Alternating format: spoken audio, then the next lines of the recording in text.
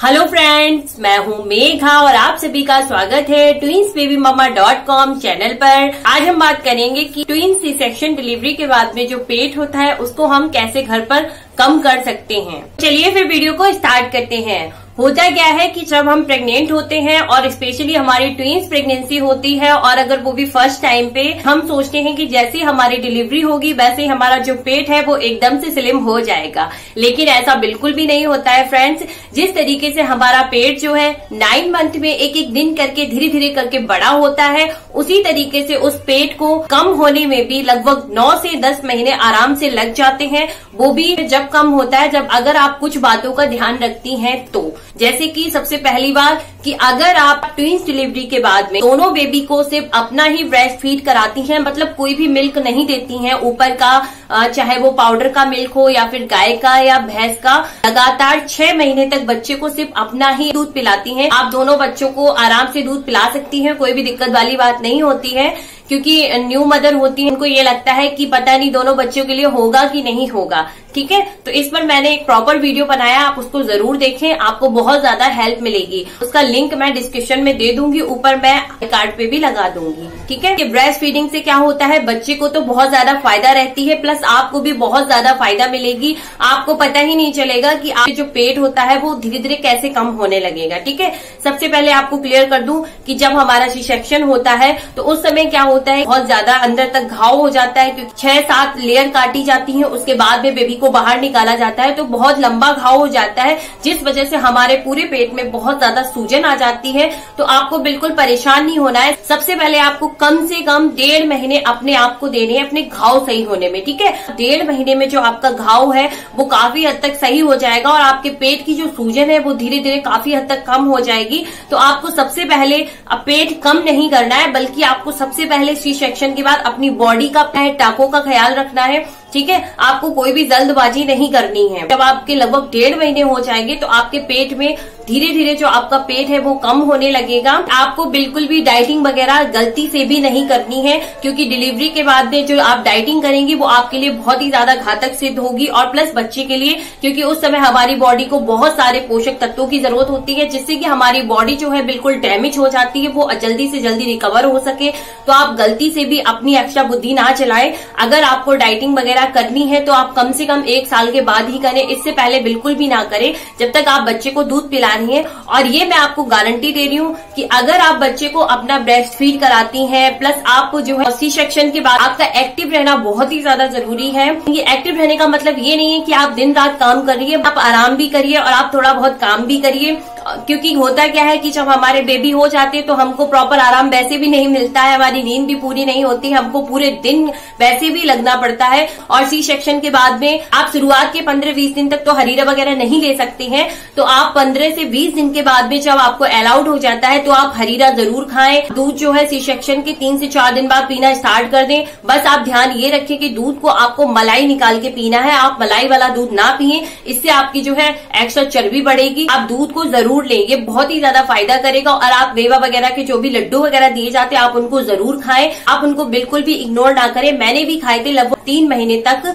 क्योंकि देखिए, हम अपने बेबी को फ़ीड कराते हैं और वो भी ट्विंस बेबी को तो जो हरीरा वगैरह होता है ना, उससे दूध हमारा बहुत ही अच्छा बनता है और आप हरीरा के साथ दूध ले लेती हैं गिलास बहुत ही अच्छी बात है। ये हमको इसीलिए दी जाती है और हमारी बॉडी को वो सारे पोषक तत्व मिलते हैं जो हमें चाहिए होते हैं और जो हरीरा वगैरह होता है, इनसे हमारी कमर दर्द बॉडी का दर्द, घुटनों का दर्द, इनमें बहुत ज़्यादा रिलैक्स मिलता है कि डिलीवरी के बाद में बॉडी में पेन घुटनों में पेन और कमर में पेन इतना ज़्यादा होता है। और अगर आप उस समय अपना ख्याल नहीं रखती हैं तो ये जो समस्या वो आपकी हमेशा के लिए हो जाती है। सी सेक्शन के बाद में आप जो है तुरंत अपने पेट पे तो मालिश नहीं करवा सकते हैं तो आपको जो है अपने हाथों में, पैरों में और आपको अपने सर में तेल वगैरह ज़रूर ठोकना है और अच्छे से मालिश करवानी है और बैक में ताकि आपकी जो पेन है वो जल्दी से जल्दी निकल जाए। उस समय हमारी हड्डियाँ बहुत कमज़ोर हो जाती हैं और जिन्हें मालिश की प्रॉपर ज़रूरत पड़ती है घाव सही होने लगे। जब आपका दर्द कम हो जाए तो आप अपने पेट पर भी ज़रूर मालिश करवाएँ। मालिश करवाने से क्या होता है कि जो पेट, जो हमारा फैल जाता है, जो नसें बिल्कुल ढीली पड़ जाती है, जो खाल लूज पड़ जाती है, वो भी टाइट होना स्टार्ट हो जाती है। आप जब डेढ़ महीने बाद मालिश करवाएँगी ना, आप नीचे की साइड ना करवाएँ जहाँ पे आपका जो है टांके वगैरह लगते हैं। आप ऊपर का जो पेट रहता है पूरा, उस पर ज़रूर मालिश करवाएँ और थोड़ा बहुत पेन हो तो उसको बर्दाश्त कर ले, कोई दिक्कत वाली बात नहीं होती है। क्योंकि अगर आप मालिश करवा लेंगे ना तो इससे काफ़ी अच्छा इफ़ेक्ट पड़ता है। तो आप इस बात का ज़रूर ध्यान रखें कि आपको जल्दबाजी बिल्कुल नहीं करनी है, क्योंकि डिलीवरी होने के बाद आप पे ऑलरेडी इतनी ज़्यादा मेहनत पड़ने वाली है कि आप जितना खाएँगी नहीं, उससे ज़्यादा आप जो है मेहनत करके निकाल देंगे, क्योंकि बच्चों में पूरे दिन काम करना पड़ता है तो आप बिल्कुल भी परेशान ना हो। कि स्पेशली अपने पेट को लेके। डिलीवरी होने के बाद में आप गलती से भी ठंडा पानी ना पिए, क्योंकि अगर आप ठंडा पानी पीती हैं तो इससे आपका जो है सूजन आएगी नशे तनने लगेंगे, और जो आपका पेट जो अंदर जा रहा होगा ना, वो वहीं का वहीं ठहर जाएगा। सी सेक्शन होने के लगभग तीन महीने तक आप कोशिश करें गर्म ही पानी पिए। गर्म पानी का मतलब ये नहीं कि आपने खोला के बिल्कुल ठंडा कर लिया, फिर आप पी रहे हैं। गर्म पानी का मतलब होता है कि आप जब भी पिए तो गुनगुना पानी ही पिए। अगर आप चाहती हैं आपका पेट कम हो जाए तो। क्योंकि उस समय आप ज़्यादा से ज़्यादा गर्म चीज़ें ही खाएँ और गर्म पानी पिए, क्योंकि हमारी बॉडी को उस समय गर्म चीज़ों की ही ज़रूरत पड़ती है। ठंडी चीज़ें उस समय हमारी बॉडी के लिए बिल्कुल भी अच्छी नहीं होती हैं। आप खाने पीने में बादी चीज़ें, तली चीज़ें, ठंडी चीज़ें बिल्कुल छोड़ दें क्योंकि देखिए, तली चीज़ें, बाली चीज़ें, ठंडी चीज़ें अगर आप खाती हैं शुरू के छह महीने तक तो हमारे बेबी को इससे काफ़ी नुकसान होगा। अगर आप बादी चीज़ें खाएँगी तो आपके सूजन आ जाएगी प्लस गैस बनेगी, और बेबी के भी गैस बनेगी, पेट में बहुत ज़्यादा ऐठन मचेगी, क्योंकि बेबी डाइजेस्ट नहीं कर पाता है इन सारी चीज़ों को। तो आप इन बातों का ज़रूर ध्यान रखें। आपको सी सेक्शन के बाद जो खाना है, वो ये है, आप ज़्यादा से ज़्यादा अपनी डाइट में दलिया है, मूंग की दाल है, और रोटी है, ज़्यादा से ज़्यादा हरी सब्ज़ी लें ज़्यादा से ज़्यादा इन चीज़ों का सेवन करें। आप हरीरा खाएँ, वो आपको बहुत फ़ायदा करेगा। आप दूध ज़्यादा से ज़्यादा पिए। कम से कम दिन में दो से तीन गिलास दूध ज़रूर लें। एक सुबह ले लें, एक गिलास शाम को ले लें, एक गिलास दोपहर में ले लें। क्योंकि आप बच्चे को ब्रेस्ट फ़ीड कराएँगे ना तो अगर आप प्रॉपर खाती रहेंगी तो इससे क्या होगा कि मिल्क अच्छे खासा बनेगा। दलिया जो होता है, वो हमारा मिल्क बहुत अच्छा बना मूंग की दाल जो होती है, वो भी बहुत अच्छा दूध बनाती है। तो आप एक चम्मच घी डाल के उसको ज़रूर पिए। तो आप सुबह उठते ही अगर आप दूध ले लेती है तो अच्छी बात है। अगर नहीं लेती है तो आप अपने नाश्ते में दलिया ज़रूर बनाए वेजिटेबल डाल के। बस आपको ध्यान ये रखना है कि बादी वेजिटेबल बिल्कुल भी नहीं होनी चाहिए। और आप जो है एक बड़ा कटोरा लेके उसमें एक चम्मच घी डाल के उसको ज़रूर पिए, आपको बहुत ही फ़ायदा करेगा। और ये आपको बहुत ही ज़्यादा हेल्प करेगा वेट लॉस करने में। प्लस आपको इससे पूरे पोषक तत्व मिलेंगे। बेबी के लिए भी बहुत अच्छा दूध बनेगा। तो आपको ये बातें ज़रूर ध्यान रखनी है। देखिए, अगर आप चाहते हैं कि आपका पेट कम हो जाए, वो भी बहुत ज़्यादा मेहनत ना करनी पड़े तो आपको कुछ बातें तो ज़रूर ध्यान रखनी पड़ेंगी। प्लस कुछ चीज़ें तो त्यागनी ही होंगी। अगर आप नहीं मानती हैं तो जो आपका पेट अंदर जा रहा होगा ना, वो पेट वहीं का वहीं थम जाएगा। अब आपके ऊपर डिपेंड करता है कि आपको क्या करना है। बस आपको मेंटली डिस्टर्ब नहीं होना है, आपको ये नहीं करना है कि बस एकदम से कम हो जाए, क्योंकि देखिए, मेरी भी ट्विन सी सेक्शन डिलीवरी हुई थी तो मेरा भी लगभग पेट कम होने में पूरे दस से ग्यारह महीने लग गए। ये वीडियो मैं इसीलिए बना रही हूँ क्योंकि कुछ बहनें मेरी बहुत ज़्यादा परेशान हो जाती है स्पेशली पेट को लेके तो आप बिल्कुल चिंता ना करें। ये मैं वही सारी चीज़ें आपको बता रही हूँ जो मैंने खुद फॉलो की है तो अगर आप भी करती हैं तो आपको भी इसका एक बहुत ही अच्छा रिज़ल्ट मिलेगा।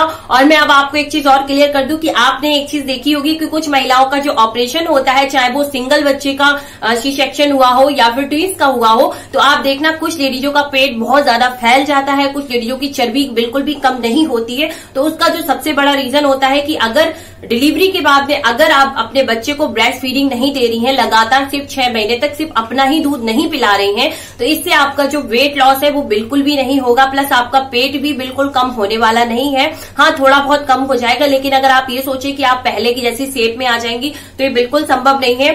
और जो लेडीजें ऑपरेशन होने के बाद में हर तरीके की चीज़ खाती हैं, तुरंत ही खाना स्टार्ट कर देती हैं, जैसे टिक्की, समोसा, चाउमीन, बर्गर, बाहर की चीज़ें और बहुत ज़्यादा चिकनी चीज़ें, बहुत ज़्यादा मात्रा में घी लेती हैं, बहुत ज़्यादा मात्रा में जो है मलाई डाल के दूध वगैरह पीती हैं तो उन लोगों की क्या होती है, चर्बी कम होने की बजाय और ज़्यादा बढ़ जाती है, और ज़्यादा फैल जाती है। तो ऐसा नहीं है कि आप सी सेक्शन होने के बाद में ये चीज़ें नहीं खा बिल्कुल खा सकते, लेकिन आपको शुरुआत के सिक्स मंथ ज़रूर परहेज करना चाहिए। अगर आपने शुरुआत के सिक्स मंथ इन सब चीज़ों से बचाव कर लिया तो आपको मैं गारंटी दे रही हूँ कि आपका जो पेट है वो बिल्कुल आसानी से अंदर हो जाएगा, और फिर आप बाद में आराम से मज़े से खाइए, कोई भी दिक्कत वाली बात नहीं है। लेकिन ध्यान आपको ये रखना है कि जो भी चीज़ खाएँ, थोड़ा लिमिट में खाएँ, क्योंकि एक बार सी सेक्शन होने के बाद में जो हमारी पेट की चर्बी होती है, वो बहुत जल्दी फैल जाती है। तो आप इस बात का ज़रूर ध्यान रखें। आप शुरुआत के छह महीने इन सब चीज़ों से दूरी बना ले, उतना ही ज़्यादा आपके लिए अच्छा होगा। आपको एक और राय देना चाहूँगी स्पेशली एक्सरसाइज को लेके, कि आप शुरुआत के कम से कम छह महीने एक्सरसाइज ना करें, वो ज़्यादा बेटर है।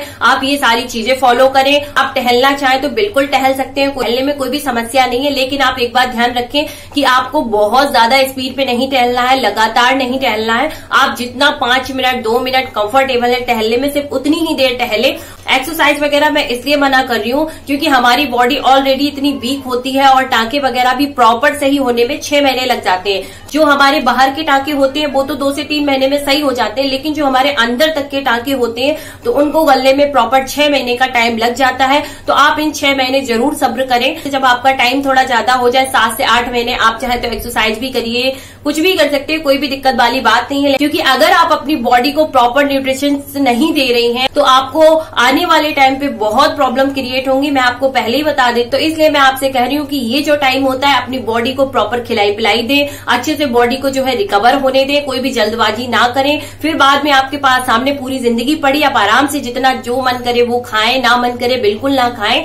पर डिलीवरी के बाद इन बातों का ज़रूर ध्यान रखिए, क्योंकि अगर आपने इन तीन महीने अपनी केयर नहीं की तो आप आने वाले टाइम पे सिर्फ़ आपके पास रोने के अलावा, पछताने के अलावा कुछ भी नहीं होगा, क्योंकि आपको काम तो करना ही होगा, बच्चों का ख्याल तो रखना ही होगा, क्योंकि बच्चे छोटे होते हैं, पूरी तरह से माँ पे डिपेंड होते हैं तो आप इन चीज़ों का ज़रूर ध्यान रखें। और आप एक छोटी सी बात को और ऐड कर ले कि रात में आप कोशिश करें कि सात से साढ़े सात बजे के बीच में आप खाना ज़रूर खा ले। ये भी आपको काफ़ी हेल्प करेगा और आपको कोई भी स्पेशल डाइट करने की ज़रूरत नहीं है। मैं आपसे एक बार फिर यही कहूँगी, क्योंकि डिलीवरी के बाद का जो वेट होता है वो एकदम से गिरना भी नहीं चाहिए। अगर एकदम से कम होता है तो ये आपके लिए बहुत ज़्यादा घातक सिद्ध होगा। जैसे हमारा वेट धीरे धीरे बढ़ता है, वैसे ही अगर हमारा वेट धीरे धीरे कम होता है, वही हमारे लिए फ़ायदेमंद होता है। हमारी बच्चेदानी का साइज़ होता है, वो लगभग चार सेंटीमीटर का होता है, जो की आ, हमारी प्रेगनेंसी के टाइम पे लगभग छह गुना तक बढ़ जाता है काफ़ी बड़ा साइज़ हो जाता है। तो इतना बड़ा साइज़ पूरे नौ महीने में होता है तो उसको सिकुड़ने में भी टाइम लगता है। आप एक चीज़ नोटिस करेंगे कि जब आपका जो है सी सेक्शन होने के बाद में जब आपकी सूजन वगैरह कम हो जाएगी तो आपका जो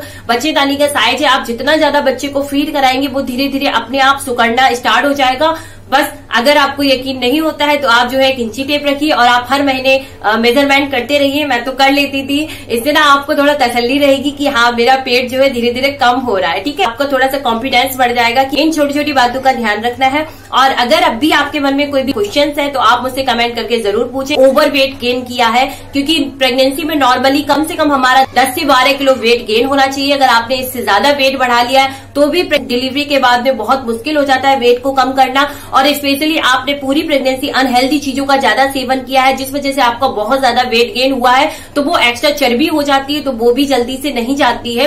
और अगर आपने हेल्दी चीज़ें ली हैं और आपका नॉर्मली 10 से 12 किलो वज़न बढ़ा है और प्रेगनेंसी से पहले भी आपका वेट कोई बहुत ज़्यादा खास नहीं था मतलब नॉर्मली था तो ये जो वेट होता है, वो अपने आप कम हो जाता है, आपको बिल्कुल परेशान नहीं होना है। लेकिन अगर आपका साइज़ ऑलरेडी पहले से ही बहुत ज़्यादा हैवी था तो फिर बाद में भी आपको कम करने में बहुत दिक्कत होगी। और एक चीज़ और बता दूँ कि बाद में आप ये ना सोचे कि मैं बिल्कुल एकदम पतली सी हो जाऊँ, पतली सी नहीं होगी, बल्कि आपका जो पहले का वेट था, उसी के आसपास जो आपका वेट है, वो बिल्कुल वापस आ जाएगा। अगर आपको मेरा ये वीडियो पसंद आया तो प्लीज़ इसको लाइक करें, ज़्यादा से ज़्यादा शेयर करें, और आप लोग ना चैनल को सब्सक्राइब नहीं करते हैं, आप ज़रूर सब्सक्राइब किया करो, और साथ ही में बेल आइकन भी दबाया करो ताकि मैं कोई भी नया वीडियो डालू तो उसका नोटिफिकेशन सबसे पहले आपको मिले। सो थैंक यू फ्रेंड्स मिलते हैं अगले वीडियो में।